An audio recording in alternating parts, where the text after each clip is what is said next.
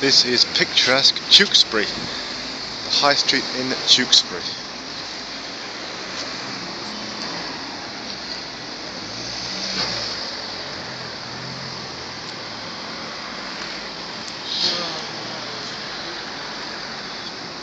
Land Rover Freelander going down there, another Land Rover Freelander coming this way.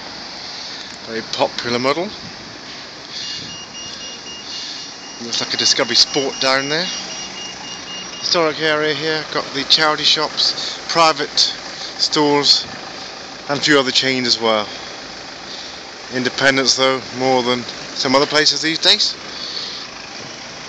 The High Street in Tewkesbury, complete with the plant pots here and a few other areas of interesting architecture as well here as you can see over there are quite different, well there is some modern architecture just across the road here.